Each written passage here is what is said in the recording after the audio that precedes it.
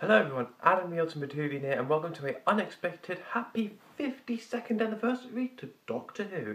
Yes, it has been uh, 52 years since an Unearthly Child broadcast, two years since the 50th anniversary events, and here we are, two years later, we're in Peter Capaldi's second season, which is pretty awesome. We're also, yeah, just two years after all the stuff happened to Day of the Doctor, which reminds me, Steven Moffat was interviewed on Radio Times about it, and yes, Christopher Eccleston was supposedly going to be in the Day of the Doctor, supposedly. Um, which, wow, that would have been amazing, to be honest. Um, it would have been amazing, and even a copy of the 50th anniversary story with only Jenna Coleman. Wow. So that's why Death in Heaven happened. Hmm, yeah, so guess that's that. Uh, yeah, there's a Moffat interview. I may link it in the description below about stuff um, about bringing back classic Doctors and Tom Baker and all that, all that jazz.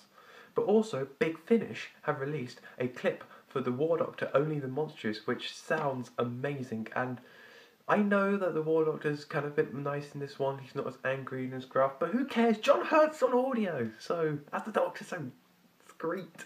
Um, and yeah, this you know the script and the everything. It just sounds really cool and interesting, and makes me want to deposit my twenty quid on that box set.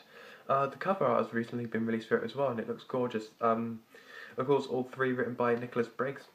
So that is uh, pretty awesome as well. Sorry I'm not doing much for the 52nd anniversary. I didn't expect much, but yeah, that was quite cool. We got War Doctor, we got an interview. Oh, Save the BBC from Peter Davison, yeah.